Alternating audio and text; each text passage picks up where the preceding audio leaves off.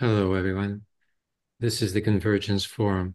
We're the international, intercommunalist convergence, intercommunalist in the sense of uh, Dr. Uh, Newton.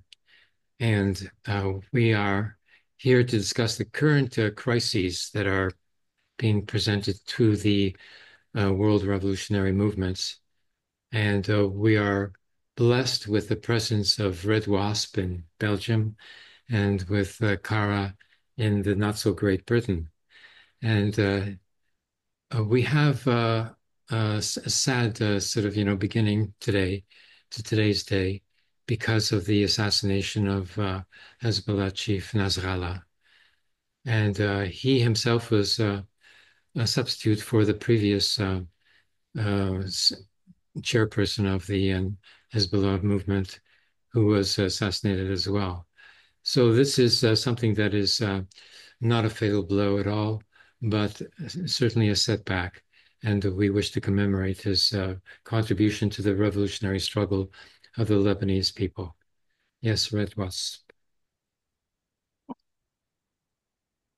Assalamu alaikum wa rahmatullah. Bismillah ar-Rahman ar-Rahim. In name of um, Allah, the most merciful, uh, the most uh, al-Rahim.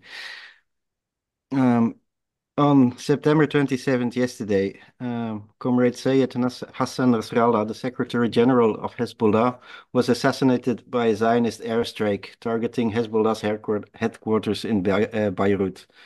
This brutal act of violence aimed to silence one of the most steadfast leader of the resistance, but has only served to amplify his legacy as a symbol of unwavering defiance and a beacon of hope for the oppressed.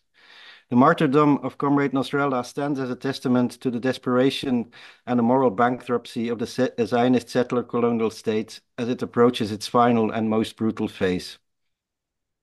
Born in 1960 in the impoverished neighborhoods of Beirut, Sayed, Has uh, Sayed Hassan Nasrallah rose to prominence as a key figure in the Lebanese resistance. He assumed leadership of Hezbollah in 1992, following the assassination of the, the, the, the, the former leader Sayed Abbas al-Musawi um, by the Zionist regime also.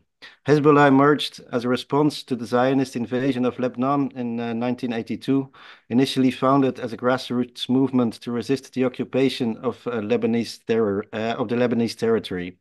Under Nasrallah's, under Nasrallah's leadership, however, Hezbollah evolved into a, both a formidable political force and a resistance movement representing the oppressed of Lebanon.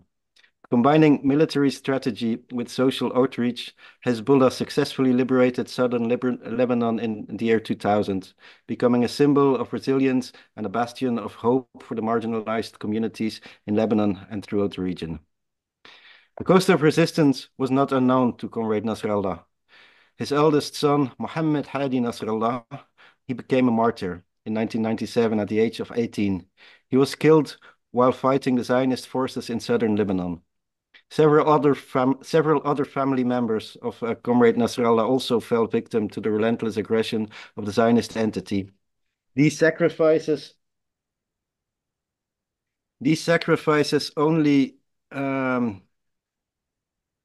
deepened uh, his commitment to the cause of liberation, further embodying the spirit of steadfastness that characterized his leadership. The pain of personal loss transformed into steadfast defiance was a mark of Nasrallah's devotion to justice. Comrade Nasrallah was more than a military and a political leader. He was also a spiritual guide whose message transcended sectarian divides. While he held the title of Sayyid within the, uh, the Shia community, his words and actions spoke to all the oppressed people in Lebanon. He became a national figure, bridging the divisions that the Zionist colonial project sought to exploit. Large numbers of Sunni Muslim and Christian communities also revered him as a hero, seeing in him a defender of Lebanon's sovereignty and dignity. His leadership during the 2006 Lebanon wars, as well as his instrumental role in the defeat of Daesh, uh, of the, the Islamic State, uh, the fascist Islamic State, so-called Islamic, demonstrated his deep commitment to the defense of Lebanon and its people, making him a beloved figure beyond the confines of religious identity. The martyrdom of Comrade Sayed Hassan Nasrallah elicited widespread reactions from leaders uh, of the resistance and from international political figures.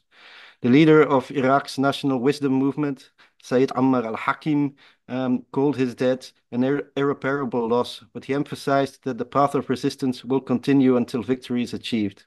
The Belgian Lebanese activist and political thinker Diab Abu Jahjah uh, described Nasrallah as a historical leader of the resistance, whose aura, brilliance, and kindness are unfor uh, unforgettable. Grand Ayatollah al-Sistani, a highly respected Shi'i authority in Iraq, praised him as a symbol of resistance. Leaders as the Turkish President Erdogan and the Russian foreign minister condemned the assassination as a dangerous escalation, reflecting the significance of Comrade Nasrallah's life and sacrifice on both regional and global levels. Martyrdom is a profound concept that goes beyond the simple notion of death. It's the ultimate act of bearing witness against tyranny, of transforming the individual sacrifice into a collective call for justice. The words martyrdom, martyros in Greek, or shahid in uh, Arabic, literally means witnessing. Comrade Nasrallah's martyrdom, like those of Comrade Jesus, peace be upon him, and Comrade Hussein, peace be upon him, is an exposure of the oppressor's brutality and his moral, uh, moral failure. The martyrdom of Comrade Jesus, peace be upon him, crucified by the Roman Empire, laid bare the fundamental nature of imperial violence, a force willing to destroy innocence to maintain its hold on power. His death became, the became a lasting testament, a lasting testimony against all oppression, a beacon of justice that continued to inspire resistance among the downtrodden. Similarly, Hussein's martyrdom at Karbala was not was not just a tragic loss, but an act of immense defiance against the Umayyad uh, caliphs, against the Umayyad regime. Hussein stood against injustice and oppression, knowing that his death would be a means to reveal the true face of tyranny. His martyrdom, like that of Comrade Jesus, continues to serve as a source of inspiration for the oppressed, a model of sacrifice that defines the very existence, the very essence of resistance. Comrade Sayed Hassan Nasrallah follows in this tradition. His assassination by the Zionist colonial regime was intended to crush the spirit of resistance, but instead, eh, but instead it has amplified his message and unmasked the oppressor's true nature. In the tradition of revolutionary martyrdom, Comrade Nasrallah's death, far from being a defeat, becomes an eternal call to action, a testimony to the resilience and the power of the oppressed. The story of Karbala, the story of the martyrdom of Hussein, is not only about those who fell on the battlefield, but also about those who survived, people like Lady Zainab, uh, alayhi salam, the sister of uh, Imam Hussein, and his son Imam Ali Ibn Hussein, Imam Sajjad, um, they also were uh, were uh, uh, martyrs, were witnesses. After the massacre, Zainab and Imam Sajjad were taken as captives to Yazid's court, to the court of the Caliph in Damascus. There they bore witness to the atrocities committed, fearlessly speaking the truth about what had transpired at Karbala. Lady Zainab, Lady Zainab's eloquent defiance in Yazid's court revealed the moral corruption of the caliphs and turned what was meant to be a display of Yazid's power into a profound exposure of his brutality. The dialectical relationship between those who die and those who survive is crucial in understanding martyrdom. The fallen bear witness through their sacrifice, while the survivors bear, bear witness through their words and actions.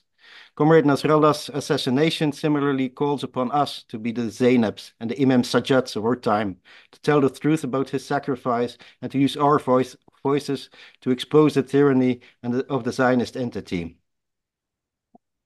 The dialectical nature of martyrdom is about the relationship between those who give their lives and those who live on to tell the story. At Karbala, Hussein and his companions were martyred, but it was Lady Zainab and Imam Sajjad who ensured that their story would be remembered and would inspire uh, and would inspire future generations. Mm.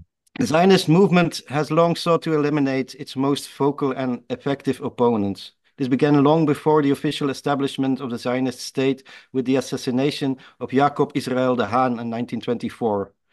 A queer, socialist, and Orthodox Hasidic Jewish anti Zionist who was murdered for his outspoken opposition to the colonial project. Um, to all who read this, to all who hear this, um, we have to be the surviving martyrs of our time. We have to use every opportunity to tell the story of these brutal assassinations. Let the truth of these sacrifices echo through every corner of the world, unmasking the oppressor and ensuring that the legacy of resistance live on. Mm. Long live all the martyrs. Um, long live Comrade uh, Hassan Nasrallah. Mm. That was beautiful. Long mm. live Comrade Nasrallah. Long live all the martyrs. Yeah, long live their memory. yes, that reminds me of my mother's brother, who was a martyr as well, as a partisan, and then later uh, conscripted into the Red Army. And that's the last we heard of him. But he enabled my mother to escape from the Warsaw Ghetto. MashaAllah. And she survived. And, you know, even though there are survivors of the Jewish Bund, does the Jewish left commemorate any survivors of the Jewish Bund? No. Does the left commemorate any survivors of the uh, Jewish uh, socialist revolutionary tradition? No. you know, and the Zionists certainly don't want to commemorate any, you know, surviving Bundists either. You know, so it's like a no nowhere world, you know, that uh, we the survivors uh, are living in. You know, and in Toronto we had a large movement as well called the uh, Loja Mutual Benefit Society, but we were never recognized by the uh, Canadian Jewish community. What it is is the petty bourgeoisie and the imperial core has taken over a lot of the movement, and they don't give a fuck about commemorating like any of the active revolutionaries or anyone who's living up to that tradition. You know, mm. like they're they're too busy with, with their hammer smashing down every colonized Marxist or otherwise revolutionary tradition that comes from who knows what knows place, especially trying to target the black uh, radical tradition, which is the one they're most scared of. I wonder why. Um, but because the petty bourgeoisie are they're not trying to do revolution, they're trying to they're trying to hybridize and like stabilize society through revolutionary voices. So they're smashing against any like interconnection that any of us are trying to build in the actual revolutionary left. And mm. what's it?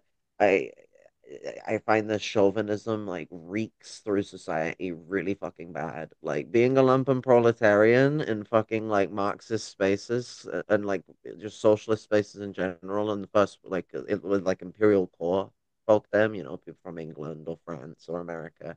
You it can be really alienating because there can just be like a lot of people that just don't get what it's like to actually live in like the lowest class and they just talk pure shit and then try and tell you what your, your class position and what your experience is like. And I'm like, buddy, I don't need you to tell me. I experience it every day. like some petty bourgeois, inexperienced fucking like Uh, oh, I read a book. Like, you know, reading is always good, but when I like when I say I've studied a topic, like I like to go a little deeper than just reading like some texts on it. You can like speak with people, engage one with book. the real world and other stuff one like that. Only... You know, these like scary concepts that one and only book. You know, the first book you read them must be it. so Marxism is, is so very simple, so very uncomplicated as long as you keep within the, the, the, the, study room and you don't go in the neighborhood to see the real people and, and the real proletariat. Yeah. That's, you know, it, it it's all about, uh, you know, do you know, remember Lenin's position where he just said theory, theory, theory? Um, uh, it's this is why like I always stress it to people it like practice is said twice in Lenin's equation. He says it is it is practice, theory, practice. Like theory mm-hmm. is the the minor in the relationship, whilst praxis is the major, and that's the component relationship that these two exist within. And so theory is what helps keep defining and developing and like uh, advancing upon what we learn through praxis and what we gain engaging in new forms of praxis based on what we've learned from it. It is the it is the relationship between empirics and rational. I think that this is also because we were talking about it before um, we recorded. Um, this whole um, uh, uh, focus on uh, theory, on, on to put it in a more theological uh, uh, um, language, on beliefs, on, on, on the ideas that you have in your head. Um, this um, idealism is actually one of the the the, the most uh, profound distortions that the, the the Roman Empire was able to enter into Christianity. If you look at Judaism, if you look at Islam, if you look at Sikhism, if you look at um, these traditions, they're all about praxis. Um, I, I, I've often had discussions with several different Jewish comrades or with several different Muslims. We have different ideas, but what matters is what you do with these ideas. And maybe your ideas in your head are completely different than mine, but if they lead you to a very similar praxis, then okay, your ideas are fine. Well, if you have the, the, the greatest theory in your head, but it doesn't lead you to any praxis, or even worse, it leads you to, to, to a counter-revolutionary praxis, your ideas are worthless what's it? Um, the birth of modern materialist science comes directly from the lineage of Islamic mysticism. Islamic mysticism, even though it has the name mysticism, is a materialist form of science because mm-hmm. what the defining point of Islamic mysticism is is that Allah has created a world that has n- these natural efficacies to it that it has its own flow and function. Like he's not controlling every little cog that turns. Nature has a reality to it. So like this recognition of nature and then this sort of like build up from it of this need to okay well we as people with quite a caretaker ability have a responsibility of engaging with this nature in a materialistic fashion where in which we build develop break destroy create you know we meld the world in our image because we're the caretakers of the world you know Allah has like um you know the whole universe to like kind of really wrap themselves around. So like um humanity has its purposes. We're not just here to be drones, you know. Uh, that's kind of the thing that people kind of mistake with um, religion. And what we see is that these religions always get taken over by oppressors, and so interpretations vastly differentiate with each other. Yes, there was a conclusion that we had come to in the previous discussion that the, religions, although based upon you know the popular masses and working people, basically, in particular, you know, for example, Shabbos is the first day off you know the workers ever got in history. So, um, but you know, we can see that you know religions can be corrupted by state institutions. Uh, the Roman Empire corrupted Christianity to serve its purposes as a state ideology, and eventually forming the nation state itself on the basis of a given democratic national identity. Then you know, uh, uh, Judaism has been corrupted by Zionism, with Zionism with its claims, you know, to have its legitimization in the teachings of Judaism, which is a false claim because uh, there was no such, you know, covenant made that they claim for that land. And uh, in Islam as well, we have found that the caliphates, you know, have corrupted uh, Islam to be uh, an aristocratic society with uh, a devoted population. So, uh, you know, nonetheless, you know, religion is is uh, considered to be a personal matter, uh, and uh, the Jewish Bundri is uh, remains neutral on whether or not one should take a position in favor or opposed to a religion or religious practice. But in any case, we recognize that there's an important, you know, uh, resource, uh, a rich uh, resource of consciousness ingrained in the religions that we should be appealing to to fulfill because religions in and of themselves cannot fulfill the goals that they have set for themselves. It'll take the political socialist revolutions to do so. Yes, Kara. Um, what's it? Uh, can't we also look at the, the the interesting relationship and as a way that like social rev- social revolutionaries, you know, we can really reach out to people who do have religious beliefs, whether we are religious or not ourselves, by looking at the fact that, you know, when you look at what the Caliph the the the Romans, um, the the Zionists, and um, well, there was a group before the Zionists that also did it to Judaism. I mean, you had like all sorts. You had this Frankism as well, and all sorts of weird hmm. reactionary mm. things that have kind of trashed uh, Judaism in this way. They're all opposites. They're all like mm. the hmm. complete opposite of what these things describe themselves as. fucking a, a, a, a, a camel has a greater chance of running through an eye of the needle than a fucking rich man has of fucking marching his way up into heaven, you know? Like that motherfucker burning. Yeah, all these people that are like the bourgeoisie are like fucking like Christians in like the UK and like fucking they all think they're going to heaven, you know. Uh, it's that Protestant update you see where they're um, allowed to own money now, where they just kind of like, well, like, we can just keep this part out. I'm sure no one will really Yeah. question it. Um, but the uh fucking um well, it wasn't meant to be like that at first, but the English decided to do Protestantism, and you all know where that goes. Uh, but the um fucking because Protestantism is actually was supposed to be a progressive move against Roman Catholicism. Where do people think the word protest comes from? But unfortunately, it got dominated by the ruling class again. Yeah. A state religion. Yeah.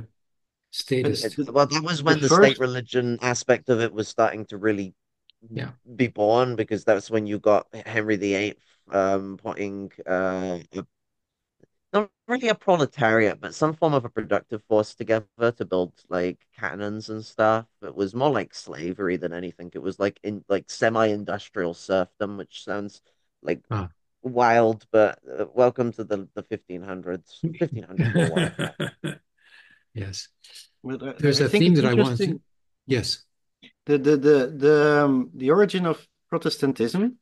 Is around the same time as you have the origin of um, a, very first uh, industrial proletariat um, in the textile sector, in the the, the, the manufacturers, actually in Flanders, um, but then the, piece of Flanders which is now in France. Um, um, and the the the, the um, first Protestant um, uprisings, popular uprisings, were actually um, led by a proletariat that was no longer a um, feudal uh, peasant class, but they, they were people who worked in uh, manufacturers, and uh, it it's, it was one of the first proletarian struggles.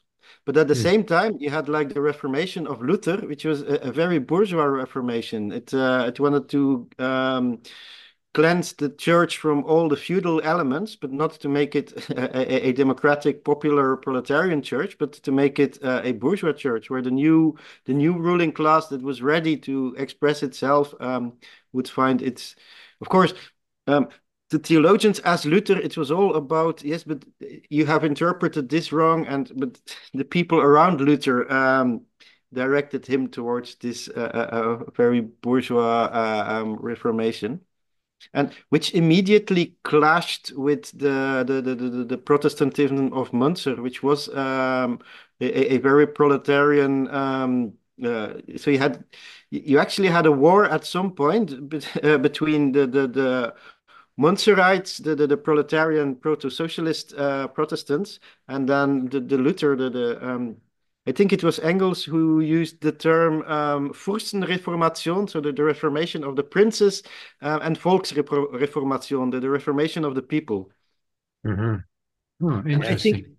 The more Yeah. I, I examine this, every time that you have these recuperation movements where the ruling class is trying to take over uh, a, a very popular prophetic movement, you immediately have a, a split. It's not that they are able to completely take it over. And actually, the very first thing they have to do is uh, physically liquidate their competitors. For Mm. example, Zionism can only exist by um, physically uh, struggling against um, all forms of Jewish. If you if if you look how they treat um, Haredi Jewish people, um, the, the brutality of the Zionist state against or against any um, openly anti-Zionist Jewish person, that's uh, that it, it's very clear that um, it cannot tolerate the the original anymore, so it has to physically uh, liquidate it. As soon Mm. as the um, Constantine and the, the emperors after him had made Christianity the, the official state religion of the empire, they they were forced to um, violently persecute uh, all the churches that they deemed heretical.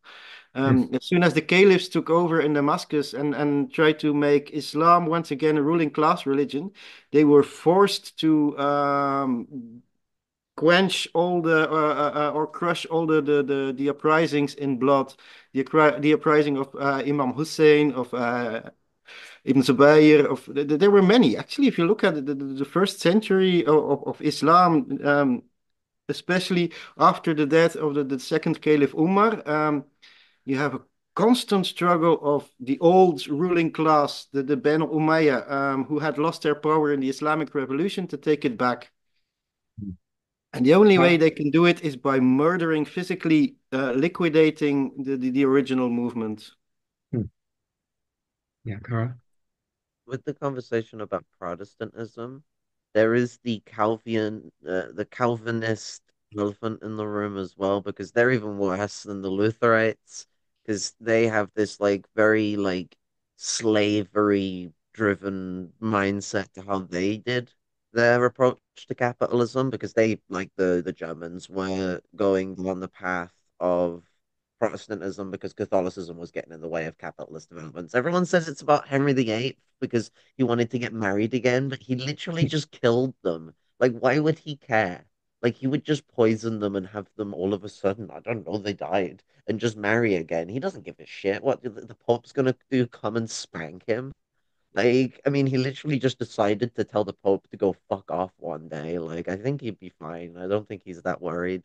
So, like, people need to stop taking what the British keep dribbling down their throats and fucking like uh look a little deeper because the reason why it actually happened and um weirdly enough a TV program actually mentioned this before uh called Time Team um where uh, they went to one of these sites um the uh what's it so when they changed to Protestantism, they went and purged the priories. They didn't kill everyone in them. They just kind of like kicked everyone out. Like it sounds so much more aggressive when you say purge, but uh, you know, I, maybe I enjoy giving people just a little bit of a fright. But the uh, it? Me and me Stalinist jokes aside, um, the uh, uh, the priories had been purged and they were turned into uh, productive facilities.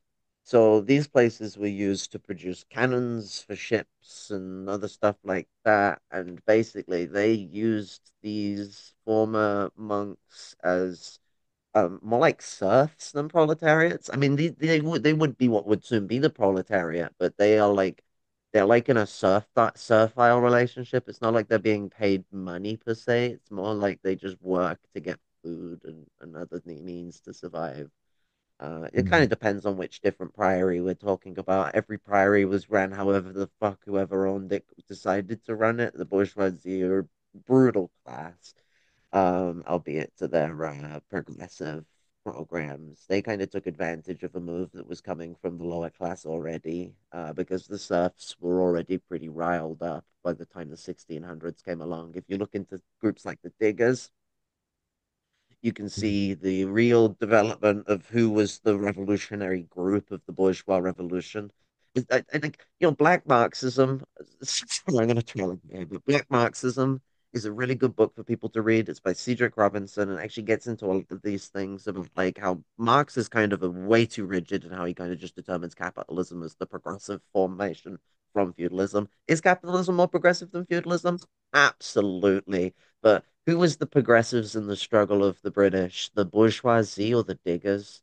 The the ones that pushed for no uh no no private ownership over property, like communal ownership over property, or or Cromwell and his fucking brutal monarchy that he basically formed around himself, where he made himself dictator in chief and fucking started like going against the Christian religion because he he knows that like he's one of those like cool kids on the college campus that knows that like Chris, Christmas is uh, actually a pagan holiday, and so he went and like tried banning Christmas, which was a really fucking unpopular move. It then turns out Yeah, he, he tried to like found his own religion, I understand, uh, some kind of a pre-Protestant or whatever. He was like he's like Protestant plus or some shit. I don't know. Yeah, Like yeah, it's he's like the the the deluxe edition you get. But yeah. what what what we see with this kind of like um you know wild relationship and how Britain formulated itself is the very mannerism in which Britain applied itself to the waves. You know, like they, they, they were sending letters to America asking them to stop owning slaves in like the 1760s, but then like couldn't even fucking finish like chattel slavery in their own empire until like the fucking Mm. 1800s, and it still technically Yeah. exists in it. They just don't. Yeah. We don't do it ourselves, which is like uh, you know, bullshit because it's like a company of a company of a company and like all that fucking bullshit. Like we, I Uh, know how this fucking like snake and ladder shit works. Where's my tissue? My nose is itching. okay. Um, I'd like to introduce a theme uh, today. Um, I'll I'll give you a development of it. It's this: on the current state of the revolutionary struggle, we have to make an evaluation, and we have to sort of know what the prospects for a successful revolutionary struggle are, or the impediments uh, that prevent us from achieving that. And I see a parallel uh, developed, uh, which is uh, similar to that of the Spanish Civil War. In Gaza, in the West Bank, in Lebanon now, we're facing a very powerful enemy with superior material force that is being supplied by a, a highly productive center as uh, the uh, monarchists, you know, were supplied by goods from Nazi Germany, but not from the uh, Soviet Union. So, in the same way, uh, the arms are not coming in, you know, to uh, to Hamas and, and the West Bank and uh, and to Hezbollah. There is no sort of immediate, you know, material aid being provided, you know, to these uh, frontline uh, in uh, resistance uh, forces. So, what's the prospect for them under such conditions? The prospect is that they will be smashed. They can endure for as long as they can, but you know the Zionist uh, uh, desire for another Nakba is actually gaining popular support now. Netanyahu has more popular support uh, today, uh, you know, than he had, you know, last week because of the uh, fascistic uh, adventures that he's engaged in in Lebanon. So he's got his granite column of support, and there is no uh, current program that deals with the concerns of those who are providing support to this fascist regime. First of all, the arguments used, you know, by the Palestinian solidarity campaigns against Zionism are ineffective. One, because they're false, and two, because they don't uh, uh, develop uh, a program for the Jewish people. Because if they want the Jewish people to abandon Zionism, then they have to provide an alternative, which they do not. The only alternative that they're providing in the form of the one, one state group, which are ex-CPers with some rad libs, is uh, that of assimilation, that they would become Palestinians in a one state, and there would be no national identification other than that one state, which would be called Palestine. Well, that's completely idealist. Okay, what's the uh, the, the uh, Jewish Bundes, you know, uh, proposition for a program to undermine the uh, base of support that Zionism has is calling for a federation in which each nation would have their own recognition and their own autonomy in the form of their own government, their own schools, their own religion, their own language, and their own police, but not an imperialist army with an empire to boot. So um, I think many more Israelis would find that appealing rather than being told that they cannot be Israelis, which is not going to go anywhere.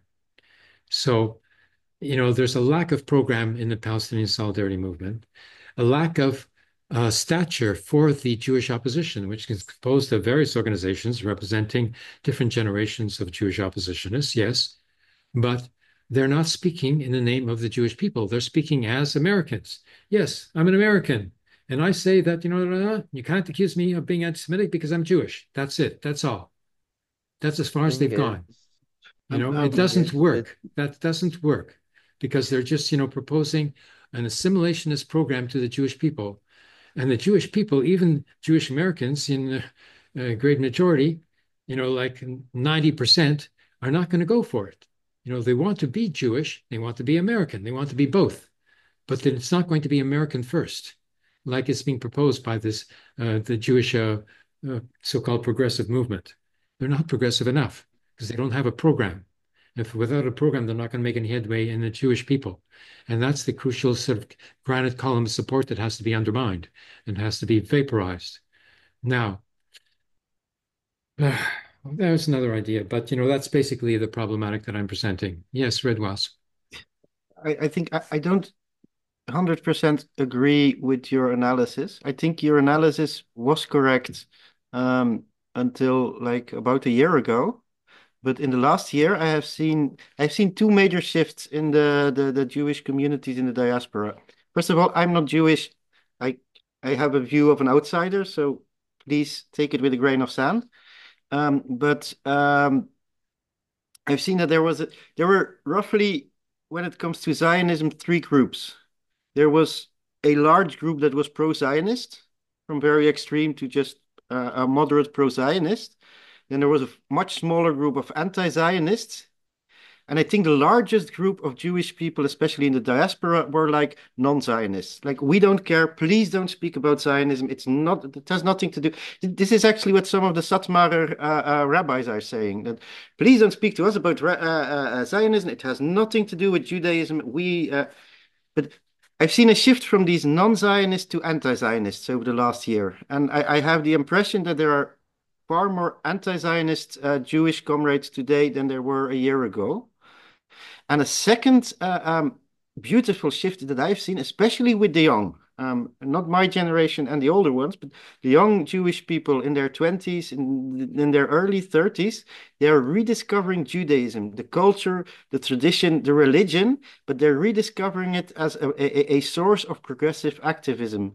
The, um, there were uh, Hanukkah celebrations the, with uh, uh, a resistance theme against uh, the Zionist uh, colonization.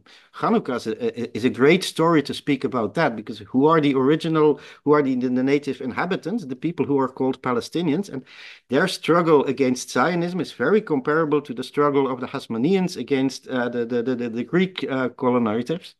Um, there, there are uh, every week there are anti-Zionist uh, Shabbat uh, uh, uh, gatherings all over the world. Um, Pesach, there have been so many um, anti-Zionist, anti-imperialist uh, Pesach seders in, in in the last year that I've never seen that before like this.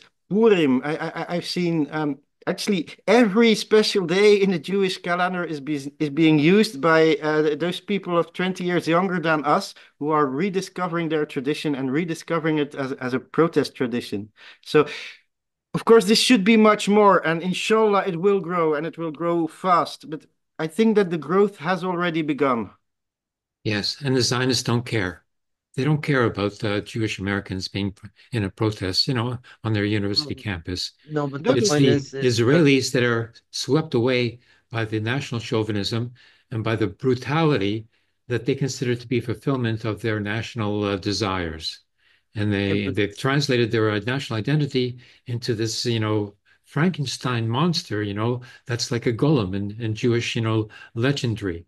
You know, they've created this monster that is supposed to protect the Jewish people that is doesn't know what it's doing and it's just going around and attacking everyone just for this own sake.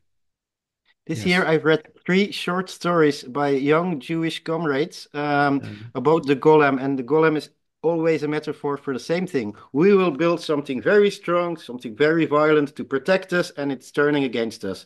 And yeah. what is it a metaphor for Zionism? So this Yeah. is really, um, and this is logical. The Jewish people have been oppressed for uh, uh, uh, centuries and centuries. Of course, this tradition is a, a treasure trove of uh, anti-oppression, resistance uh, ideas and, and, and tropes and, and, and, and metaphors and symbols.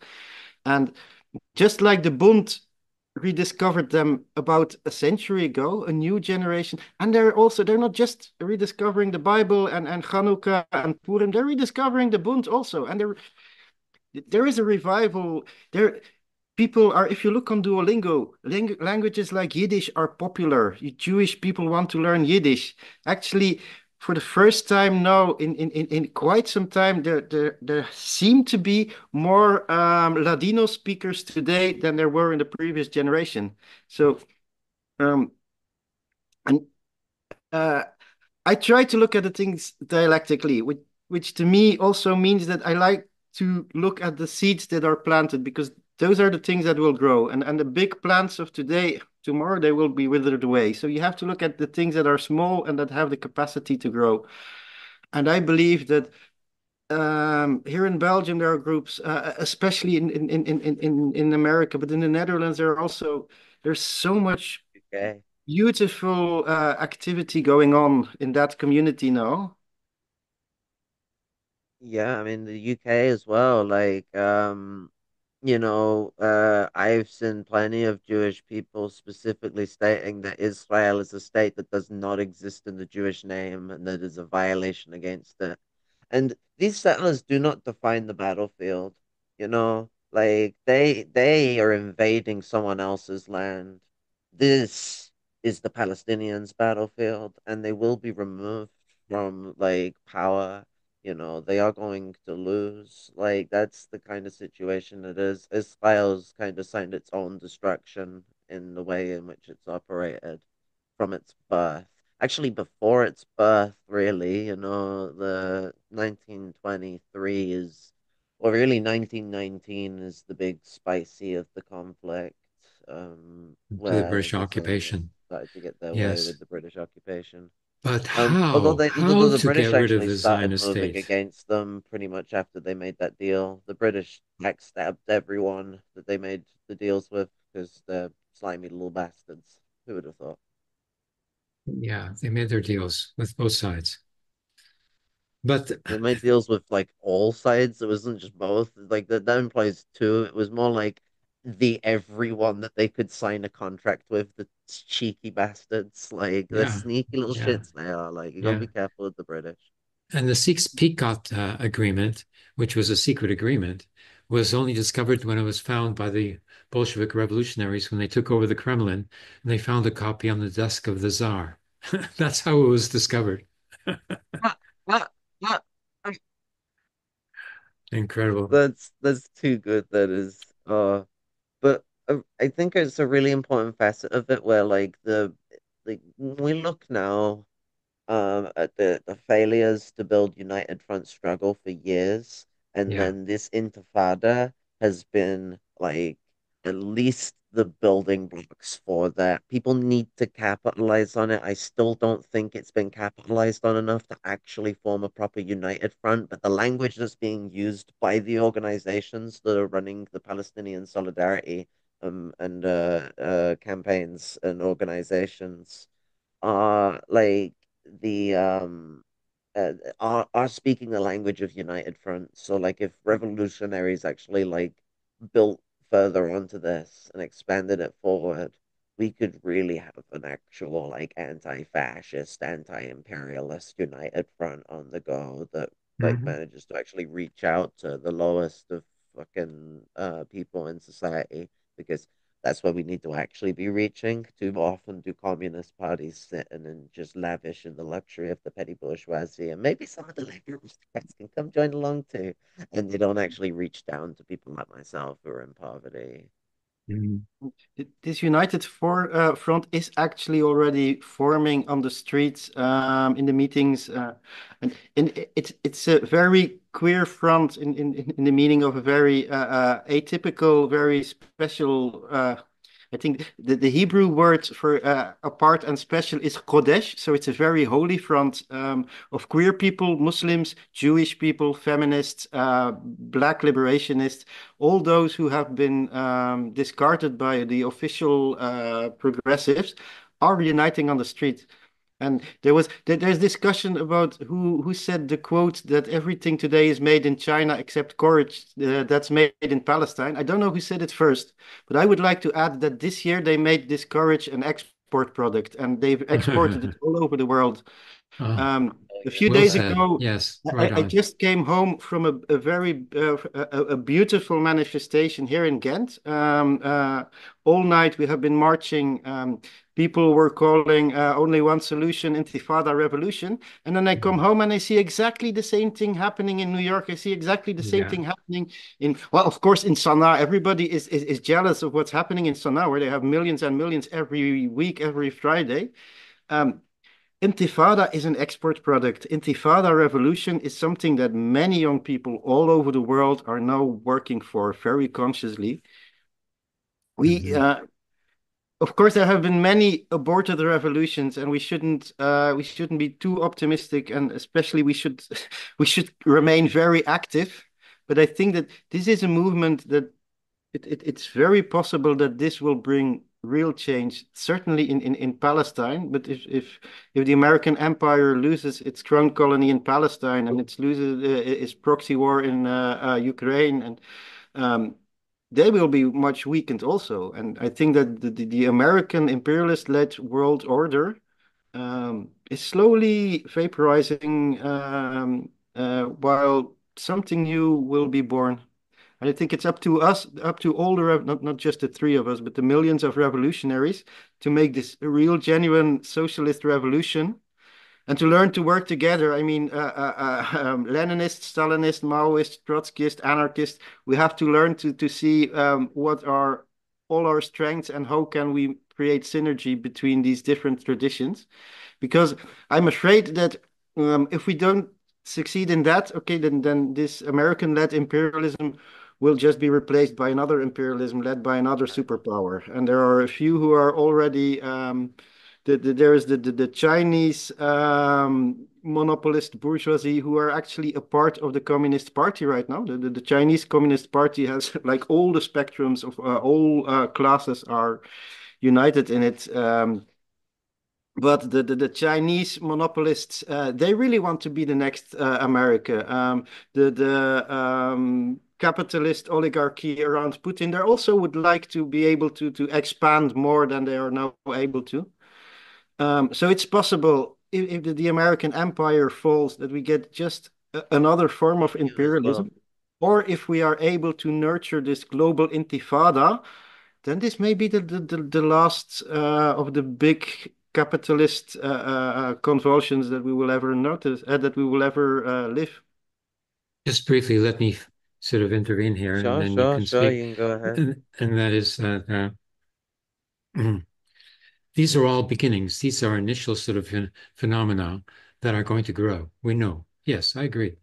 But um, uh, nonetheless, the, you know, when the international revolutionary movements begins to grow like that, and then one movement, you know, in one country sort of, you know, nurtures, you know, the growth and the credibility, you know, of the movement in another country, you know, like this is all sort of interrelated.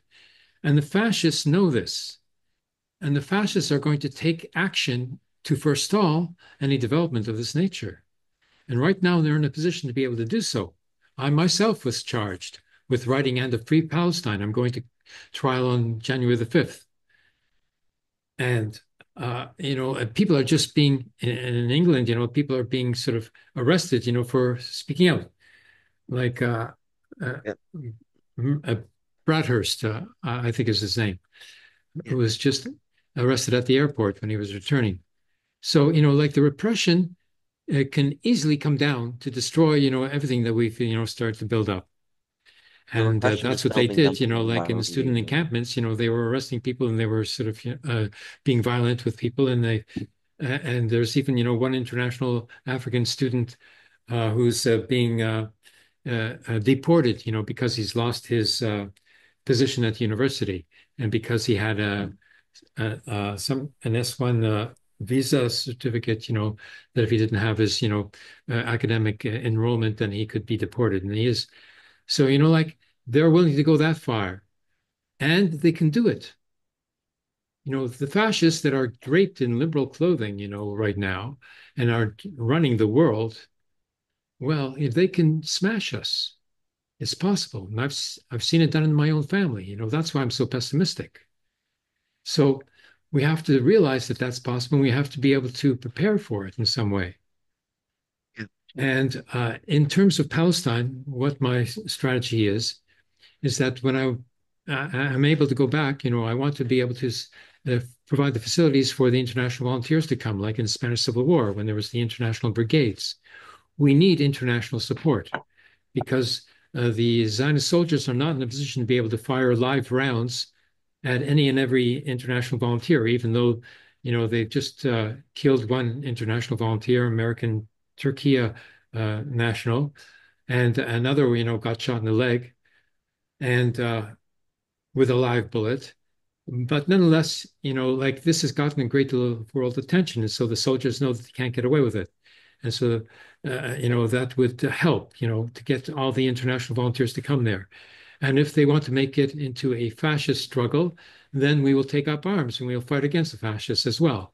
But we need the international support in that way because the other states, the other Arab states, are not providing it. You know, maybe the Yemenites, you know, and Ansarallah, you know, are sending volunteers, you know, to st and stationed in Syria right now, ready to take on Israel in the Golan Heights. Maybe, but Turkey, uh, which promised to send troops in to Lebanon to forestall any, you know, Zionist invasion of Lebanon, I haven't heard anything about that. No. No. And, and I listened to his whole speech at the UN, you know, like a long speech, you know, he's talking about using um, using uh, what, the, what word did he use? Force, not force, but to, to uh, oblige, coercion. He said that mm-hmm. that the Zionist state, and he used the term Zionist state, the Zionist state has to be coerced into complying with the General Assembly resolutions, but they haven't provided him any help. Even after the uh, volunteers on the uh, Marmara ship, you know, were killed, and you know, uh, uh Turkey uh, uh, martyrs, you know, in that episode, and nothing was done about it except words. So, hmm. you know, I don't see that we have enough strength to forestall the fascist offensive that is underway. And we are under a fascist offensive internationally. In the Ukraine, that fascist offensive, you know, began, you know, like uh, early. And uh, gratefully, you know, it is, uh, it is, it is, you know, being weakened, you know, day by day. But, you know, they don't give up they have to be destroyed. You know, fascism cannot be sort of tolerated. There, can, there is no sort of agreement, you know, to forestall any offensive from fascism. This is the lesson of the Ribbentrop-Molotov Pact. It doesn't work. It only leaves us defenseless. We have to be ready for a struggle of the ultimate nature. And in Palestine, I'm going there to do that. I think that um, Yes, the fascists will, and more and more governments will become openly fascist, and they will do everything they can to, to destroy us physically. But after all these thousands of years, the ruling class has still haven't learned what is the real, what I call the dialectical mystery of martyrdom. There was, um, by the end of the 19th century, there was like a, a young romantic boy uh, in in Russia his name was uh, um, Vladimir uh, uh, Vladimir Ilyich Ulyanov. Uh, and he was actually he was interested in, in poetry and all these romantic things but he has a brother who was quite a revolutionary and that brother was murdered by the tsarist state. Well vladimir hmm. ilyich ulyanov just a few years later he was known as lenin and he led the, the bolshevists. Um, if the ruling class murders every time they they try to silence one of us there are five of us who are, are who are getting up. And I'm not saying that we have to look for martyrdom, uh, that we have to look because, because it doesn't, that wouldn't work. But every time that they murder us, people see it. And especially now, we live in a time of social media. Um, this is what's what's happening in Gaza is the first massive martyrdom that is being filmed, that's being live streamed. The whole world is seeing it, and this is having an effect. And I, I, I'm, and of course, we have to be very vigilant because um, the first generation of activists, let's call them like this, the, first generation of, of this uprising, many of them will be put in jail. Many of them will have like fines that, that will ruin them financially. Several will actually be killed. Uh, but people are seeing this and people are fed up and, and people see that um, we haven't been able to solve the, the, the, crisis of 2008 we haven't been able to solve the, the, the, the, the, crisis of the 90s we haven't been able to solve the crisis the crisis of the 80s the, the, the so-called petrol crisis. Capitalism is going from one deep crisis into another and people are seeing this. People are feeling this. So yes but in a country I'm always a little bit advanced... more optimistic but yes but in the country with the most advanced, you know, political movement in France now, with the United Front that just won the election, yes. look how easily they are just brushed off. You know, another government, conservative government, you know, coalition government has been proclaimed prime minister from the rightist party that lost, you know, in the election. You know, is now the prime minister of the country, all because they know that if this United Front comes into being a government, they will carry out the recognition of the state of Palestine. Mhm. This allows for the radicalization of people. Like, Yes. Yes, of course. what it causes but they're then being is, is it stopped. causes what like a formation of that is meant to cause, which is to show that these institutions are not Sure, the people will get more radicalized as a result of this People debacle. Yes, will, in France, they violated prejudice their own constitution. Yeah. But so, you know, what are they doing in will still be. response?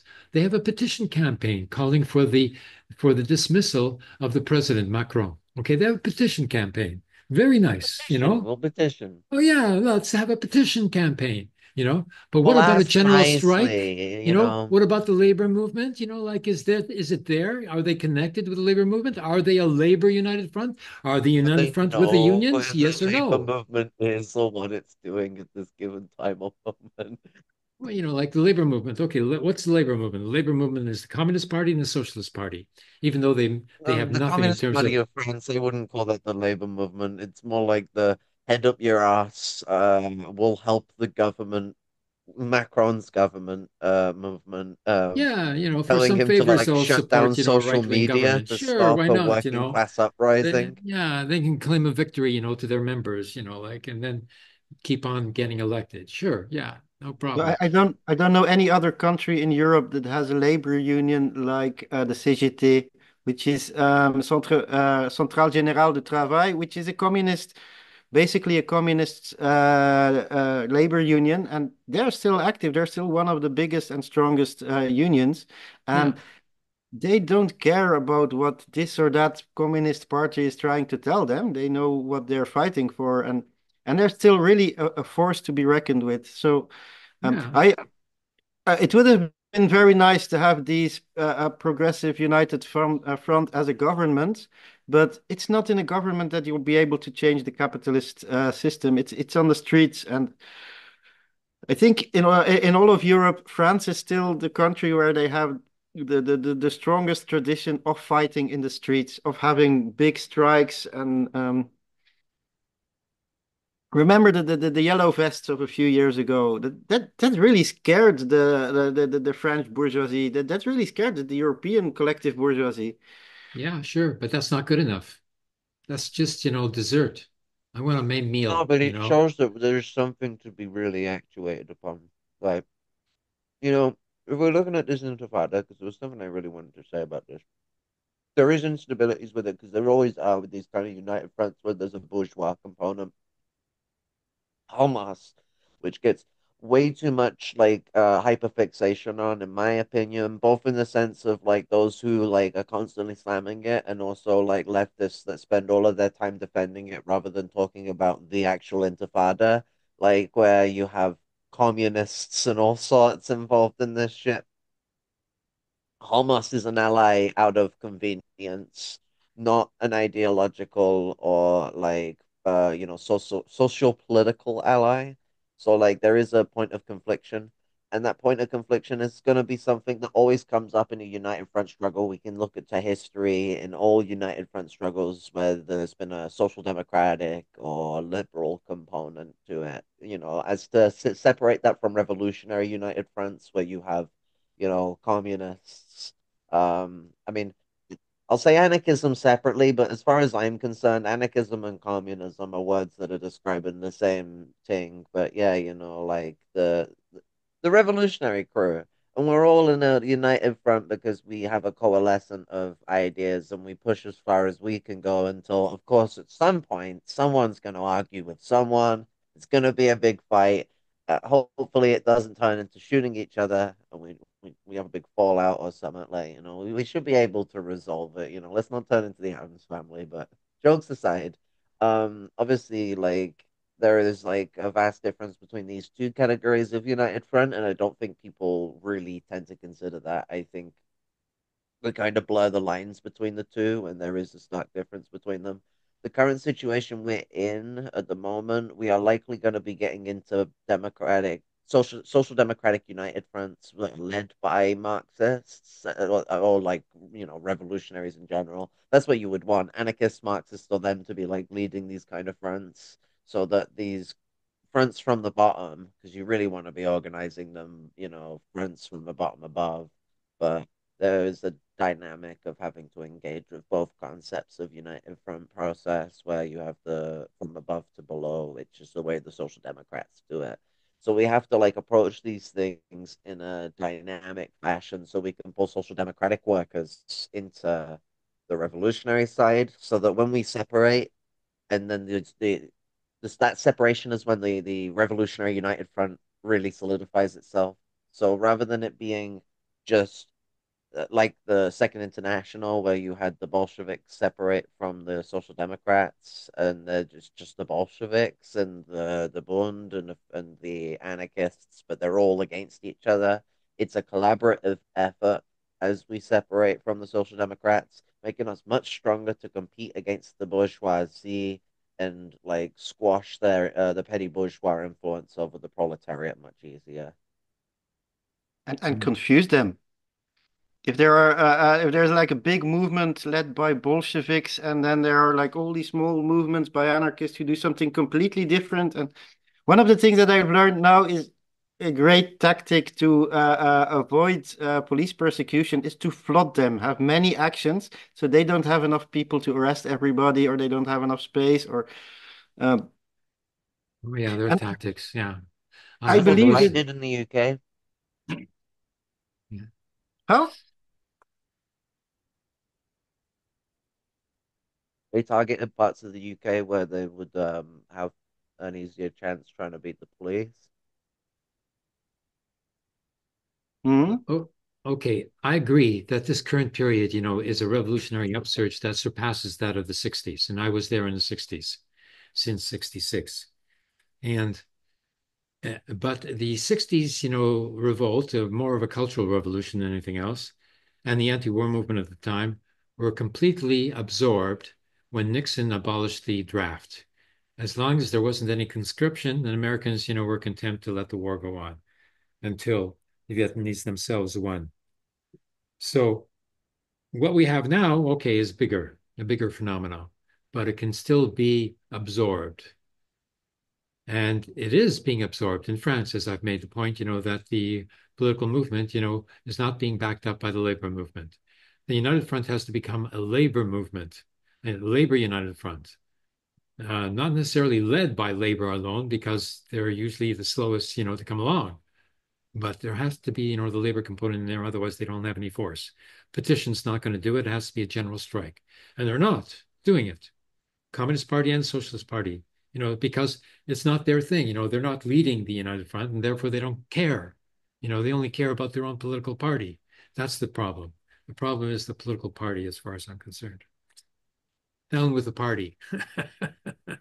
Um, it, it uh, there was a, a, a Chinese Chinese poet, um, and, and at some time he became the head of state also, um, and he said it's always if Marxism is clear on one thing, it's always right to rebel, and you have to bombard the headquarters, and um, uh, revolution is not a crime. So Yeah. when Chairman Mao was removed from the center of power, and he saw that there was uh, a fast bureaucratization of uh, the, the the whole socialist system in China. Um, Hmm. he saw that, and uh, several students uh, at Beijing University and at other universities saw that as well, and they started rebelling. And they Hmm. immediately had full support of Chairman Mao, who said that uh, um, even if it is against a communist party in a socialist uh, country, um, you always have a right to rebel to make things. Uh, uh, because you will always have this bureaucratization, you will always have uh, uh, bourgeois and petty bourgeois elements that, that rise to power in every bureaucracy. So um, There I, was a I think we need the uh, we need we need parties, um, but we have to be able to. Um, I used to be when I was young. I, I was in a um, a Bolshevik party, and the party was everything. I mean, Marx, Engels, Lenin, all all all the five. We had like the five heads, and um, we idolized them. And then for Hmm. some reason, um, God called me to become a Muslim, and, and I started recognizing this is idolatry. I am making um, a God uh, out of an organization that was invented by human beings and out of people who are long Yes. underground, if they're not in some kind of mausoleum. That's Um, why Islam and Judaism forbid, you know, uh, visual uh, conceptions, you know, of a deity. yes, it, it it's um, the, I think that. One of the things that I learned and, and why, but most of my atheist comrades are, are a bit allergic to it, but I think that we can learn a lot from good theology as revolutionaries because there are lots of things that if you translate them in these terms, like if you look at what is what is the, the, the problem of idolatry, which are the idols of the, the revolutionary movement, that's a very interesting way of looking at it. You have party and ideology, and uh, but you also have things like purity. We are we're the most purely Leninist party, and all the others are wrong. Or the, Mhm. these uh, and these are all um, there. There was um, there was this a, a bit of a fringe uh, um, anarchist in the time of Marx, um, Stirner, and he had a concept of I think it, in English it's translated as spooks, a kind of ghosts, ghost spirits of the mind, and a lot of things that are very real to us. Um, Marx spoke of reification, that we've made them into a thing.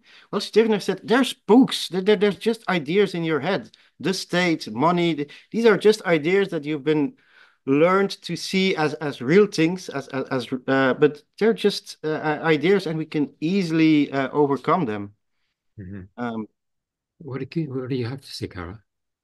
what So what's Kara, it with yes. uh, um with the whole like way that a lot of this stuff all relates? The Cultural Revolution was something that happened way later than it should have.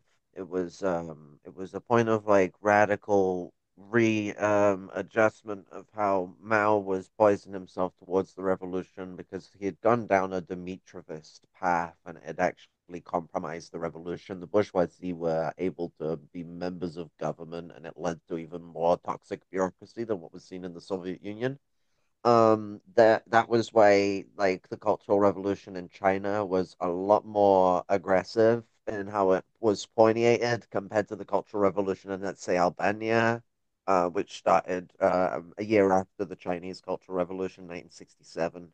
Um, with this uh, poignant relationship, we've got to look at the the uh, Soviet Union and the Chinese uh, People's Republic had both gone through similar um issues in that early development, and that was that the country was in such a feudal state that there needed to be a different approach from the Communist Party and how it formulated the socialist state for a temporary period.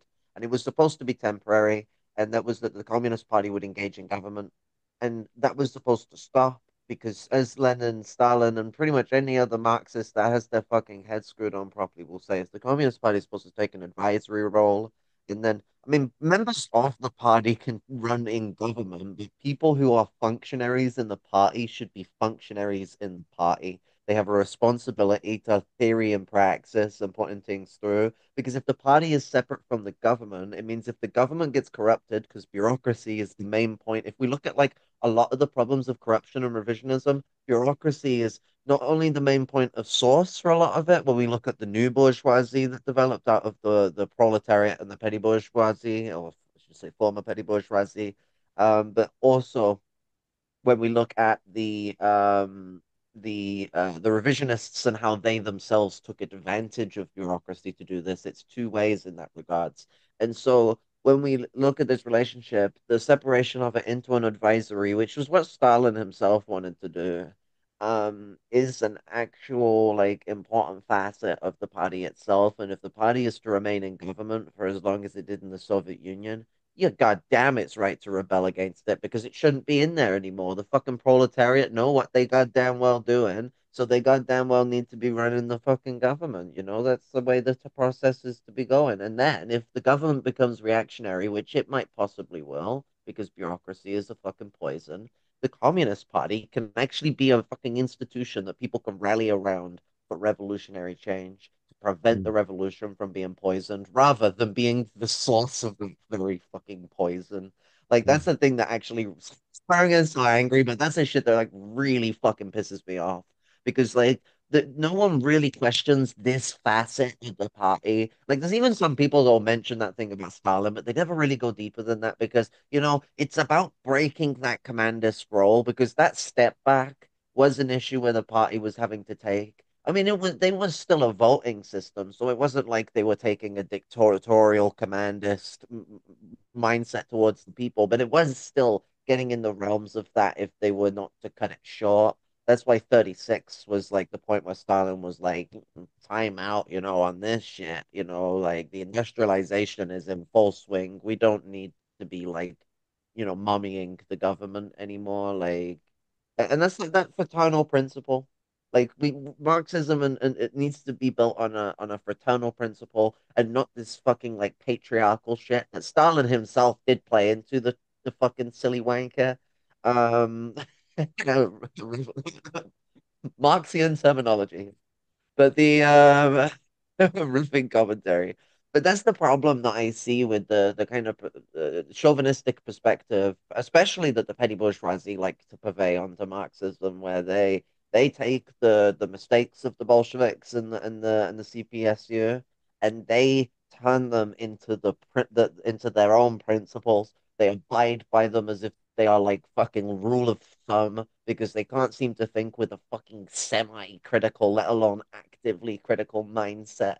Like it is this complete like dislocation of the movement, and those kind of thinkers risk damaging our struggle. Now we do need to still form collective united front struggle with them because they represent a part of the left.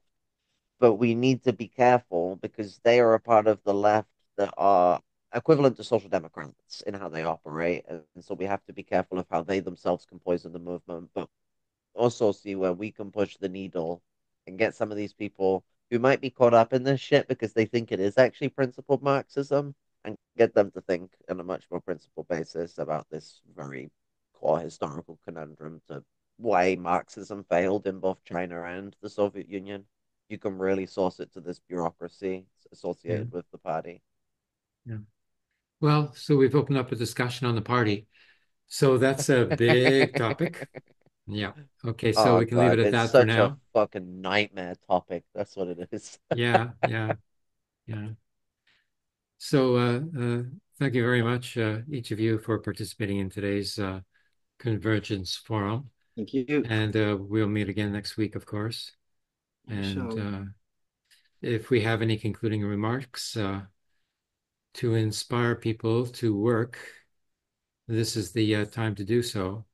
And I would call upon uh, you know, Jewish people to be made aware of the fact that there is a Jewish movement uh, that is contiguous, you know, with the original Jewish Bund from the Warsaw Ghetto that they can become involved with in order to make an alternative to Zionism and not just a uh, lib critique of uh, that phenomena, because we're dealing with a bigger problem than has ever been thought of before. Okay. And, and maybe, Kara, Yes, RedWasp. I, I just one one small detail to end with. Um, a, a, beautiful illustration of what's happening in some Jewish communities. Um, a very young, I think in his twenties, rabbi that I know from the United States. Um, a few months ago, he sent around uh, a broche, a, a blessing, oh, yeah. specifically made for if you want to burn a, an Israeli or an American flag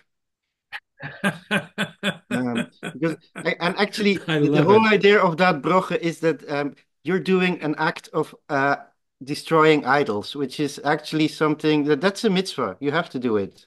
Yes. So yes. They, are they're, they're re rediscovering things that I'm happy that I'm still alive, and I hope that Allah Subhanahu wa Taala will leave me on this planet for a long time because there are evolutions that I would really love to see how they're going further. Because yeah. Yeah. I believe we are right now. We are Moshe. We are, we're, we're, Moses, peace be upon him, on the mountain, and we can already see the promised land. And maybe, maybe we will be able to cross the, the river. Okay. Poetically, but I like that. Um, okay, Carl. What, what, was, what, do, what do we have to look forward to? I mean, you know,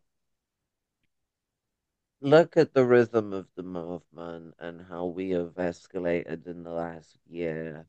You know, actually, look the last four years. The uh, ask the uh, Al-Aqsa flood.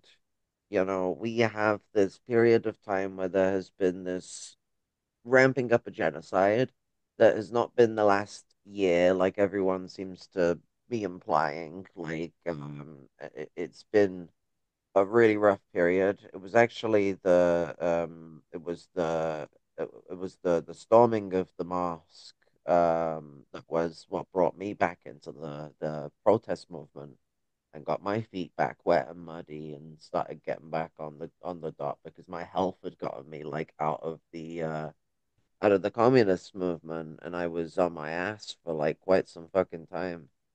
And the um what's it this the the uh, uh the the protests then were not very big.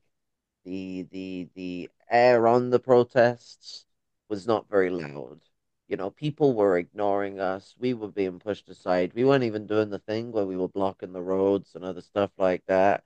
Nada, nada, nada, nada, nada. We were just like doing the usual march around the block and other stuff like that. There was still plenty of people. It's not like there was no like uh, just a tiny amount of people there, but you go and compare that to the like hundreds of thousands to millions of people that I've seen in person protests. Like, you know, I, you, you don't know a feeling like being around a million people chanting for a fucking free Palestine and like fucking marching through London. There was so many of us. We outnumbered the right in fucking droves, absolute droves. So if we're looking at the revolutionary movement moving forward, there is a lot of shit we can radicalize upon. And like everyone trying to push for like accelerationist principles, like and like the people that want to just like, oh well, you know, who cares? Like, you know, just let Trump win, blah blah blah. You know, like let, let's look at what we've got right now. We have right now compared to back then a incredibly powerful, incredibly radical movement that when I was in London, we were chanting, um, you know, about like sending the settlers home and shit like that. We were chanting Intifada Revolution. We were chanting, you know, all sorts. We were like fucking, you know, when people say from the river to the sea, it's not like it was with a lot of people a few years back where they were saying some liberal two state shit at the same time because somehow people managed to hack their bad ideology in. No, people had pictures where they wanted Israel gone. And that was the main message of most protests in this country. There are not many people in this country that are going, yeah, two state solution. Most of them are going, fuck off Israel. And so, like, all these doomeristic Marxists that can't seem to get their heads out of their ass and actually, like, look at what the revolutionary movement is providing to us, I think people need to look deep. They need to look deep and they need to look hard at what the Palestinian Intifada actually represents for the people's struggle as we move forward on into revolutionary organizing towards revolutionary action. Okay, well, we're doing it. That's for sure. And we know what we're doing. So that's what counts. Okay, good. Can I just, because um, Yes. Comrade Storm made me uh, think of something. I would like to suggest a theme for one of the next sessions, Yes. the no state solution, because um, as much as I hate Zionism as an ethno-nationalist uh, idea, I, I don't I don't believe in nationalities in, in, in in the way that they were invented in the 19th century, and the Palestinian nationality doesn't exist, in a Palestinian state. I think that all these states, all these nation states that were created um, last century in uh, West Asia, they should all disappear, and that land should be reunited as it was um, for more than a thousand years. Uh, so I would like to propose that uh, theme of the no state solution, uh, inshallah, for one of the next. Yes, very good. In fact, that's the subtitle of my book, The Federation of Palestinian and Hebrew Nations. That was the purpose of that book, is to propo propose a program, constitutional program, uh, in precision, with precision, that goes beyond the state and uh, is called the no state solution. And uh, there's a book that's just been published by Yale University Press by Daniel Boyarin, and the title of which is The No State Solution, published by Yale University Press of all presses, you know, like it's a it's a phenomenon that uh, I saw repeated even on Al Jazeera by one uh, academic who mentioned it as well. So it's a phenomenon that is uh, developing and that is very revolutionary. Whereas the one state solution is just a bourgeois liberal solution, you know, that won't work in any case.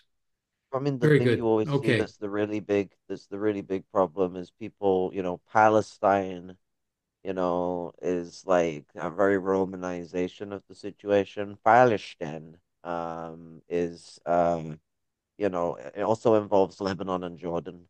Like Uh, Palestine is the the ancient land which used to be Canaan, that's called the Levant, I think, as well. Uh, Levant, Yes. yeah. Yeah. Very good. Okay. Okay. So we will continue next week. Okay. And Inshallah. it's been a pleasure to discuss with you each.